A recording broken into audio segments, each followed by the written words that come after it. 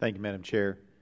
Thank you for being with us. Uh, I would uh, reference you uh, first to a Roanoke Times article that was actually a reprint or the same day as the Richmond Times Dispatch uh, about Virginia, our home state.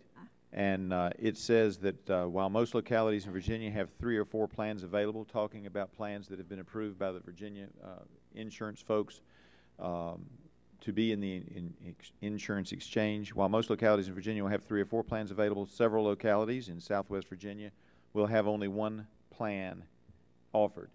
Uh, that certainly wasn't what was contemplated when the bill was passed, was it? That, that there would be areas that would only have one plan, one choice? That wasn't contemplated, yes or no? Because we only have limited time. Congressman Griffith, you know as well as I do, there's only been a history of one insurance plan in Southwest Virginia. It will take time to introduce new plan, new plans to rural markets, and that's an example of a and, market. And I was surprised that, that you have indicated throughout this that you've heard of isolated incidences where people were laying off or cutting back hours significantly in light of the fact that the Commonwealth of Virginia itself 7,500 according to the Richmond Times Dispatch. Washington Post article indicates it may be as many as 10,000 uh, Virginia, Commonwealth of Virginia employees uh, are having their hours cut.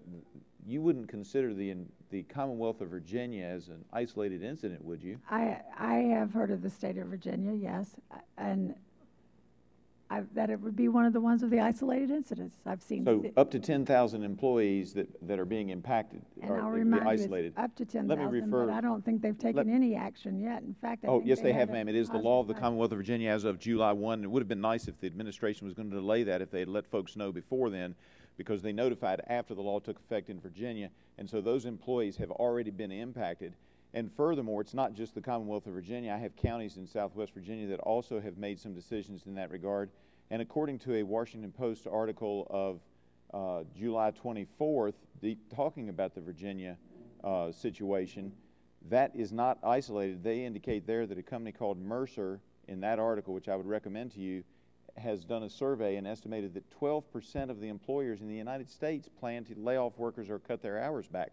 And this I is where we get frustrated. to you an equal number of studies that say quite the opposite. Okay.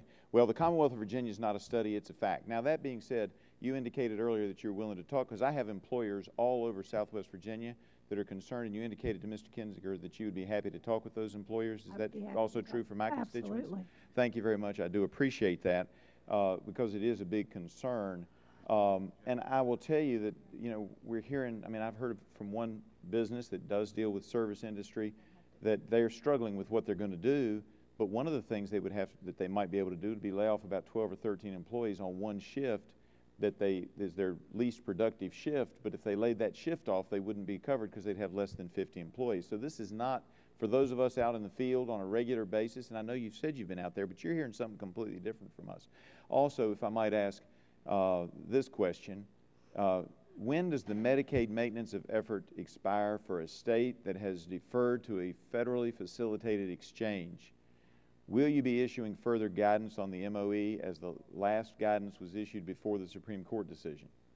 I, okay, so the exchange and the MOE are two separate issues, All right. right?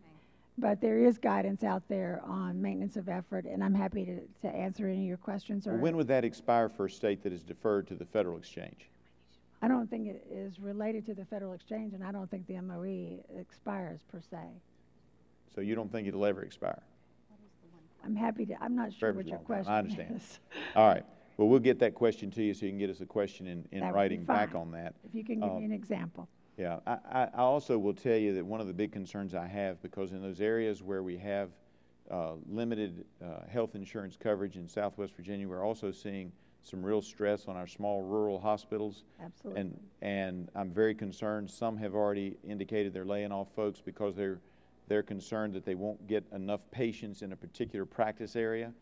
And for some of my, my people, that means in, in very critical areas of health care, they're now looking to have to drive an hour and a half to two hours to get the care that they used to be able to get in their hometown.